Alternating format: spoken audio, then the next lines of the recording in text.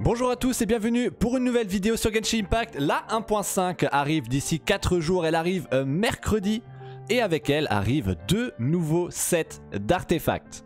Et aujourd'hui, je voulais répondre à la question est-ce que ça vaut le coup de farmer euh, pour ces deux sets d'artefacts? Notre résine est précieuse et on a déjà accès à pas mal d'artefacts, donc il faut qu'il vaille euh, vraiment le coup. Donc on va les regarder un après l'autre et on va regarder sur quel personnage. On va du coup regarder chaque artefact dans l'ordre, le set 2 pièces et le set 4 pièces et on va regarder sur quel personnage il pourrait bien passer. C'est important pourquoi? Parce que euh, ça se trouve, vous avez aucun personnage qui aurait besoin de ces sets d'artefacts et dans ce cas vous n'avez pas besoin de les farmer ou alors vous avez vraiment toute votre team qui pourrait bénéficier des deux sets et dans ce cas ce serait top tier pour vous de farmer ce donjon. Donc commençons par le premier, la flamme blême. Le set de deux pièces augmente les dégâts physiques de 25%. Donc déjà c'est très précis, ça va être pour les personnages qui vont faire des dégâts blancs et du coup des dégâts physiques. Le 4 pièces, lorsque une compétence élémentaire, donc le E, touche un ennemi, l'attaque augmente de 9% pendant 7 secondes et peut être cumulé deux fois et déclenché toutes les 0,3 secondes. Une fois deux cumuls l'effet du set de deux pièces augmente de 100%. Qu'est-ce que ça veut dire? Ça veut dire que vous commencez le combat, vous avez 25% de bonus dégâts physiques. Vous entrez dans le combat, vous faites un E. Et là, vous gagnez 9% d'attaque. Ensuite, vous devez refaire un E avant 7 secondes pour pouvoir avoir deux stacks et du coup avoir 18% d'attaque. Et dans ce cas-là, avec deux cumuls, vous avez également 25% de bonus dégâts physiques en plus. Donc au début du combat, 25% dégâts physiques. Après 2 euh, E, vous passez à 50% dégâts physiques et 18% d'attaque. Donc tout de suite la première comparaison qu'on peut faire c'est avec les sets existants et le premier ça va être chevalerie ensanglantée. Augmente les dégâts physiques de 25%, donc le même set de pièces, donc le même effet. 4 pièces, les attaques chargées ne consomment pas d'endurance après avoir tué un adversaire et infligent 50% de dégâts supplémentaires. Donc c'est très situationnel, c'est pour ça qu'on utilise rarement le 4 pièces. Maintenant la première chose que je vois avec ce nouveau set d'artefacts c'est que le 2 pièces, d'accord, c'est très fort. 25% de dégâts physiques sur un main DPS physique, c'est génial. Et on peut le combiner avec chevalerie ensanglantée. Donc si vous mettez 2 pièces chevalerie plus 2 pièces flamme blême, vous allez déjà partir avec 50% de dégâts physiques tout le temps. Sans condition, sans rien. Donc maintenant imaginez que vous avez un Razor qui a le nouveau set euh, Flamme Blême. Vous avez 25% de bonus dégâts physiques. Son E il a à peu près 5 euh, secondes de recharge. Donc vous commencez le combat, vous faites un E, vous avez 9% euh, d'attaque et 25% dégâts physiques. Vous pouvez refaire un E et à ce moment-là, vous avez 50% dégâts physiques et 18% d'attaque. Donc c'est comme si tu avais 2 pièces chevalerie, 2 pièces flamme blême et 2 pièces gladiateur.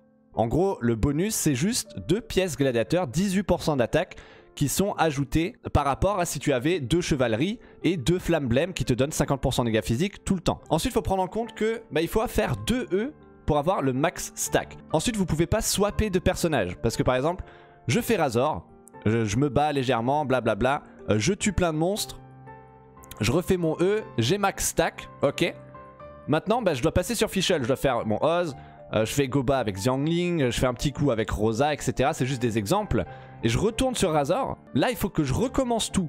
Si j'ai pris plus de 7 secondes pour faire toute ma rotation, bah, il faut que je recommence. Et on se retrouve de nouveau avec 25% de dégâts physiques jusqu'à ce que j'ai fait 2 E avec Razor. Donc, d'un premier euh, coup d'œil, je vois que ce set, il va être utile sur les combats très longs euh, où le personnage main DPS physique va rester plus que 2 E d'affilée euh, sur le terrain. Donc par exemple, si vous, baladez dans le monde ouvert avec Razor, voilà, on se promène, on fait un E, et avant même d'avoir fait le deuxième, bah le combat est déjà fini.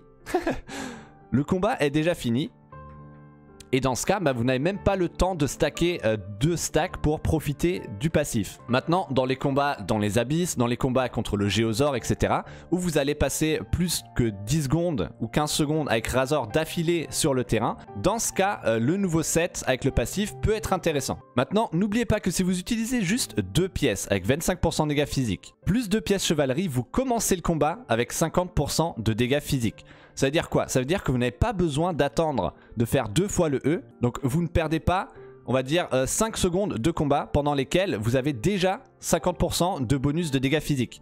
Donc les premiers dégâts vont déjà être plus hauts. Donc il va vraiment falloir trouver une niche très précise pour utiliser le set 4 pièces à la place d'utiliser 2 euh, et 2 pour avoir 50% de dégâts physiques tout le temps. En plus, ça vous laisse euh, flexible à faire du swap si vous voulez. C'est-à-dire, vous commencez, là j'ai 50%, je tape avec Razor, j'ai pas besoin de faire mon E, je change sur Xiangling. Et dès que je reviens sur Razor, j'ai encore 50% de dégâts physiques tout le temps. Sans condition, sans rien. Et d'une manière générale, moi je trouve ça beaucoup plus flexible et polyvalent que d'utiliser le set 4 pièces. Maintenant j'ai préparé euh, deux teams de personnages du coup qui sont euh, des main DPS physiques. Et on va voir lesquels d'entre eux peuvent utiliser le 4 pièces en théorie. Ça veut dire quoi? Ça veut dire qu'ils ont un E qui peut être spammé deux fois en 7 secondes. Donc ça c'est les personnages euh, qu'on utilise généralement en dégâts physiques si vous avez envie. Euh, Razor évidemment un des plus connus, Rosalia qui marche très bien avec la supraconduction, Fischl très forte également, Xiangling à cause de la lance du pic du croissant de lune en early game euh, qui est génial, Keia ça marche aussi en dégâts physiques, Jin oui, Zhongli pour le fun, pourquoi pas, et Ketching en attaque chargée. Donc maintenant, la première team qui est déjà sortie, Rosalia, son E, prend combien de temps à recharger? 6 secondes.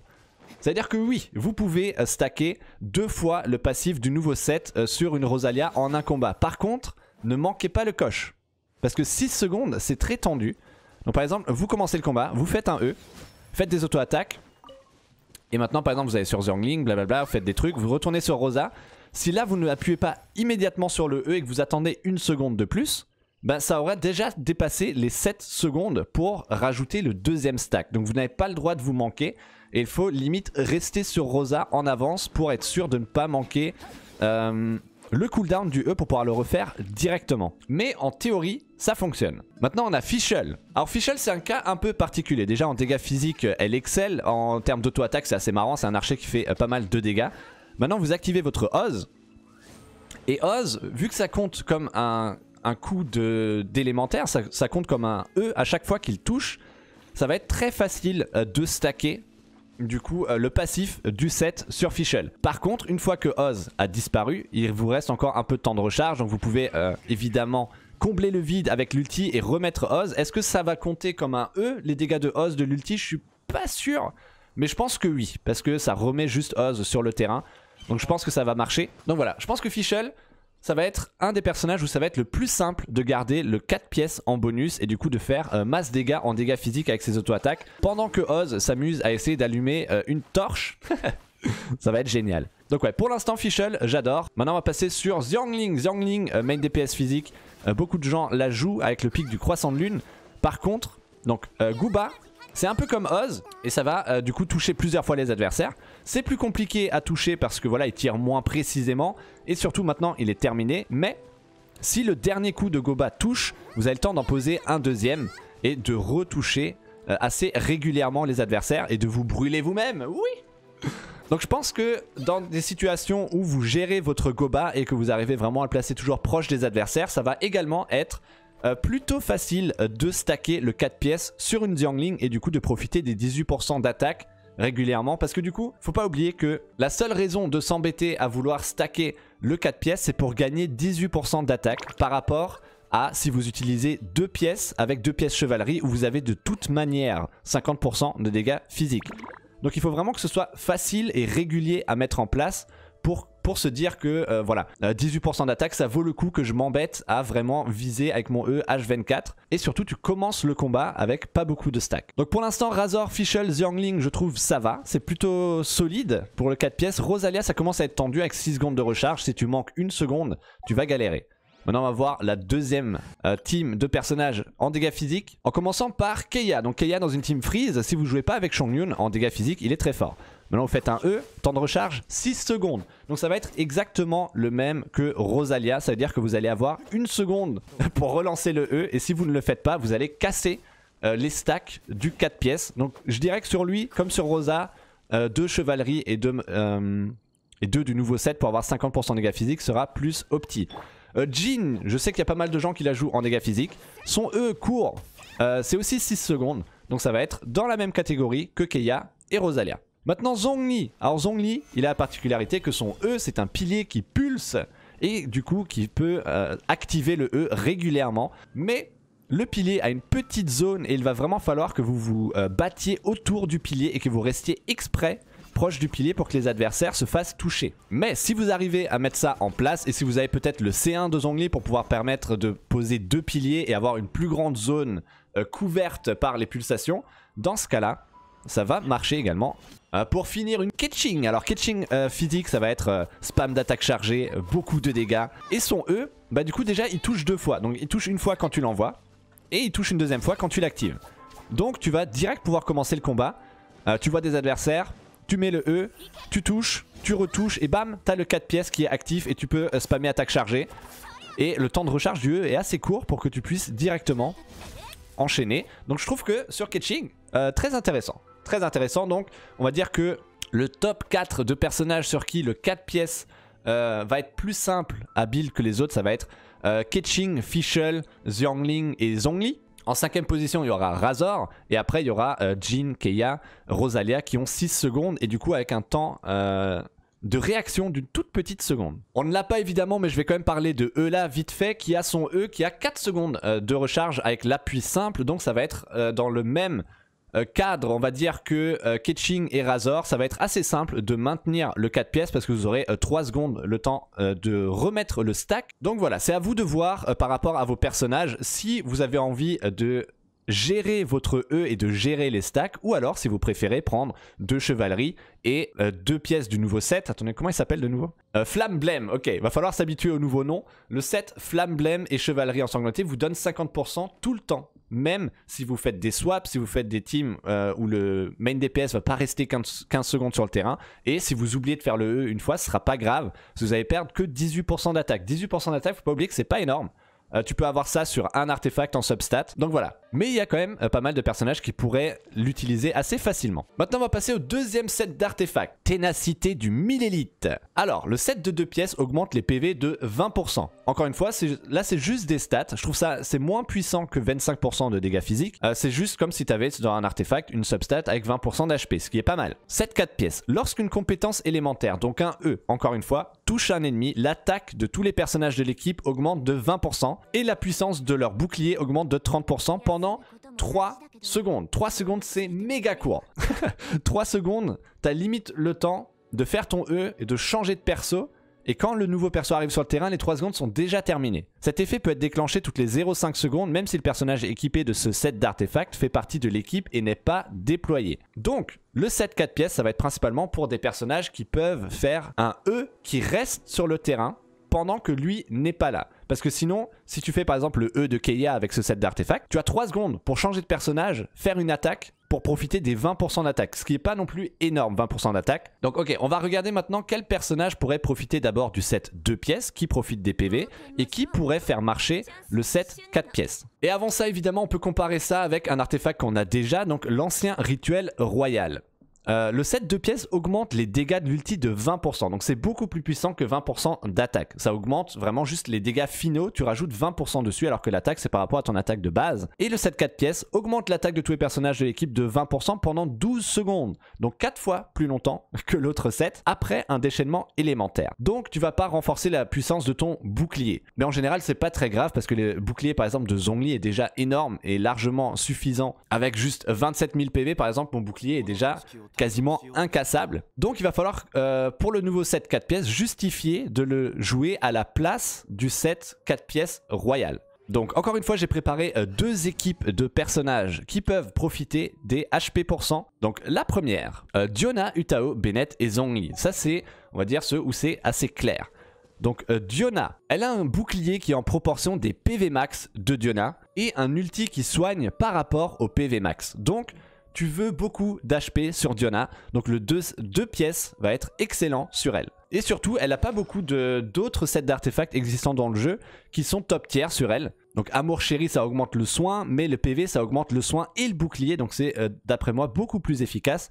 Donc je conseillerais quasiment sur toutes les Diona au moins deux pièces euh, du nouveau set. Maintenant Utao, alors Utao tout le monde connaît, hein. je veux dire la mienne a 32 000 HP, donc très clairement on va viser euh, du HP sur Utao. Son E donne un bonus d'attaque par rapport au PV max et si elle est en dessous de 50% d'HP, elle va infliger plus de dégâts avec son ulti. Après, est-ce que euh, tu veux remplacer le set 4 pièces Pyro qui te donne des bonus de dégâts parce que ça reste un DPS Utao? Est-ce que tu veux remplacer ça par juste 20% d'HP supplémentaire? Donc moi je peux très bien euh, vous montrer euh, j'ai par exemple le bâton de Homa qui donne 20% d'HP. Donc si je l'enlève et que je mets par exemple Roche Noire à la place, on se retrouve avec 29 400 HP. Donc là maintenant vous imaginez, voilà je vais poser deux pièces du nouveau 7 HP sur Utao.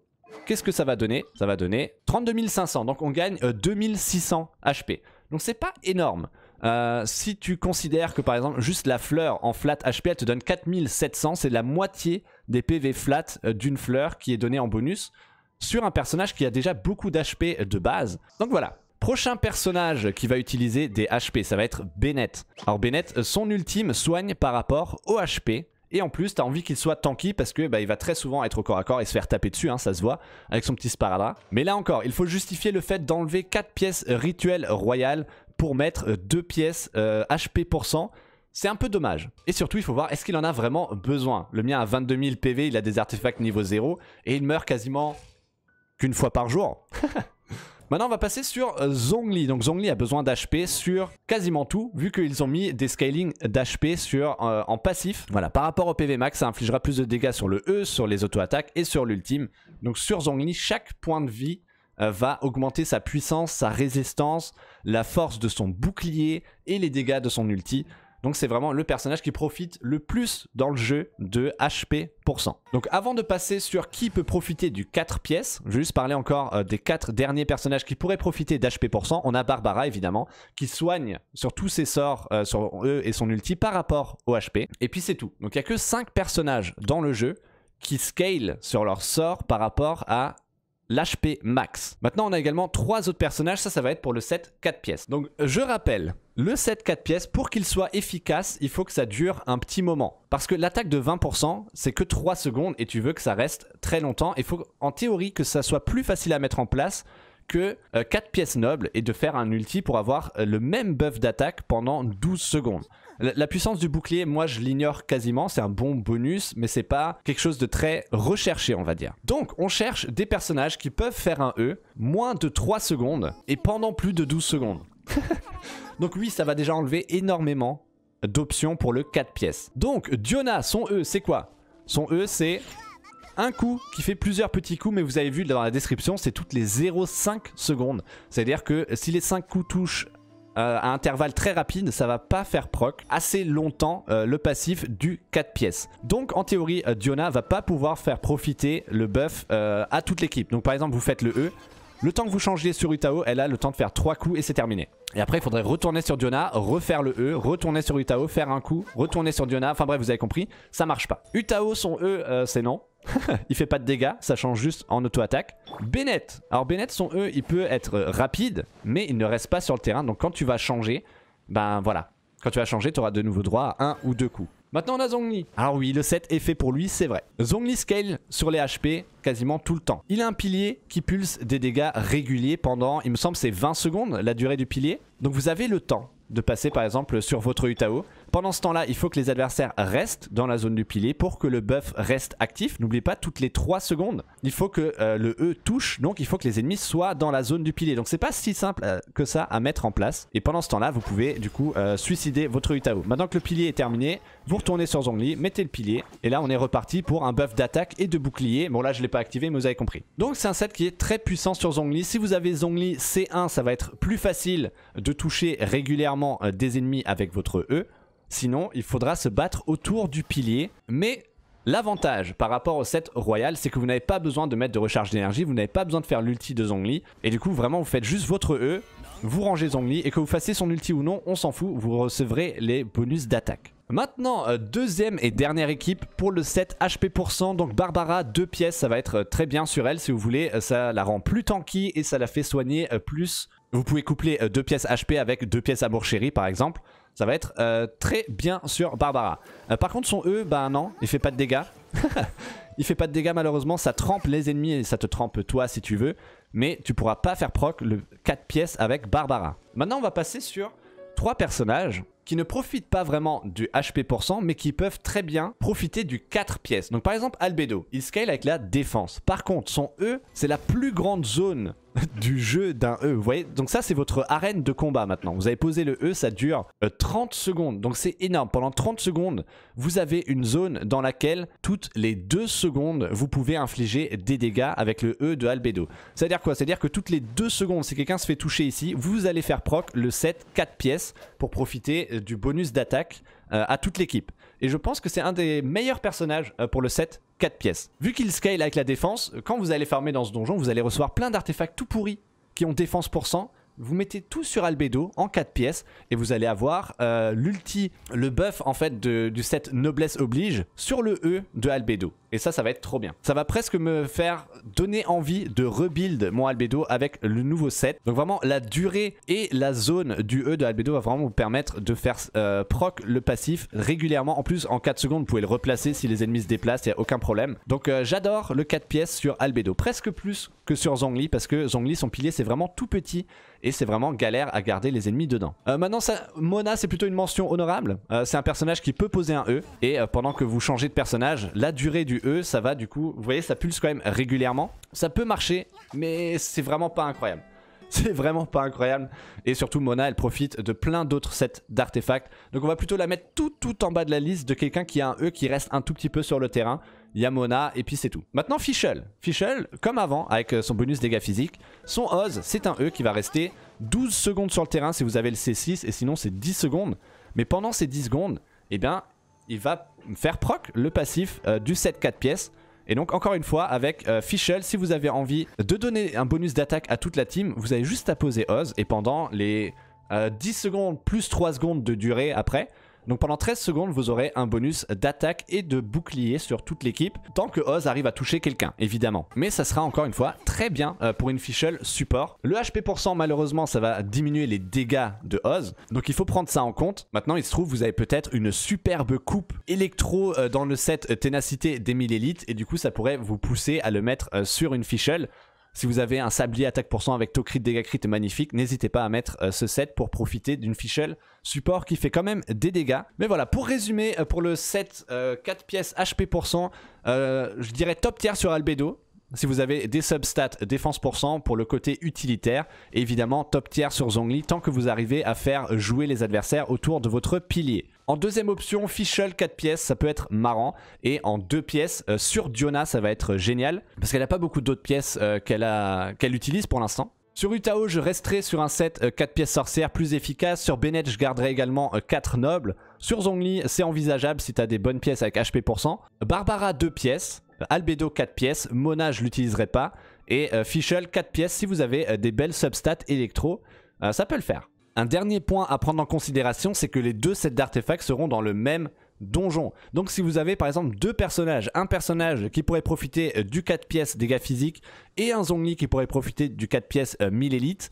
ça va être top tier de farmer des artefacts dans ce donjon parce que n'importe quel drop sera intéressant pour vous et ça c'est vraiment super important parce que euh, par exemple si vous farmez les artefacts euh, Anemo et que vous arrêtez pas d'avoir amour chéri à la place que vous utilisez sur personne, la moitié de vos drops sont inutiles. Ici, il est possible que 100% des drops soient recherchés, surtout si vous utilisez par exemple du défense pour cent euh, pour votre albédo. Donc euh, surtout au début, ça va être super intéressant de farmer ce nouveau donjon. Donc voilà, j'espère que ça vous aidera à choisir si vous devez ou non euh, farmer vos sets d'artefacts par rapport aux personnages que vous avez, par rapport aux personnages que vous avez envie de build dans le futur et aux sets d'artefacts que vous avez déjà sur vos personnages. Si vous voyez d'autres combos ou d'autres personnages qui pourraient profiter d'un set en particulier, n'hésitez pas à les mettre dans les commentaires. Et voilà, moi j'ai vraiment hâte de farmer pour ces nouveaux artefacts et surtout d'entrer dans la 1.5 avec toutes ces nouveautés. Ça va commencer euh, mercredi du coup, euh, je le rappelle, on sera évidemment euh, sur Twitch en direct, on va invoquer pour Yann Fei, on va découvrir toutes les nouvelles nouveautés justement avec les nouveaux sets d'artefacts qu'on farmera très certainement dès le premier jour. pour terminer, je voulais juste vous montrer les statistiques de Tartalia parce que dans la dernière vidéo Showcase Tartalia, vous m'avez fait remarquer que j'ai oublié de vous les montrer et je suis désolé donc je vais vite vous montrer les statistiques euh, des artefacts que j'ai euh, sur Tartalia. Alors, on a un casque dégâts crit qui a un peu d'attaque et de la maîtrise élémentaire. Euh, parfois, il sera changé par un casque Tocrit qui a 20 dégâts crit. Ça, c'est si je veux le jouer, par exemple, avec l'arc... rouillé justement pour avoir des statistiques équilibrées on passera à 72 110 dégâts crit avec l'arc rouillé mais dans le build que je vous ai montré on était sur l'aile de la voûte d'azur Et du coup, on avait un casque dégâts. Maintenant, la coupe dégâts hydro, on a 9 taux crit, recharge d'énergie de l'attaque et évidemment beaucoup de défense. Tartaglia est corps à corps. Nous avons une boussole attaque pour 100 avec un proc taux un proc dégâts et beaucoup de défense flat. On adore. la plume, 13 dégâts, 13 taux pardon, 5 dégâts crit et 8 d'attaque. Et nous avons une fleur avec 21 dégâts crit, 7 taux crit et de la défense flat. Magnifique. Voilà, ce sera tout pour moi aujourd'hui. Passez un très bon week-end. Et euh, si vous avez apprécié la vidéo, n'oubliez pas de laisser un j'aime et de vous abonner à la chaîne. Vous pouvez euh, nous rejoindre sur Twitch. Il y a les liens euh, dans la description si vous voulez être là pour la 1.5. Et voilà, nous on se retrouve dès demain pour une nouvelle vidéo sur Genshin Impact. Ciao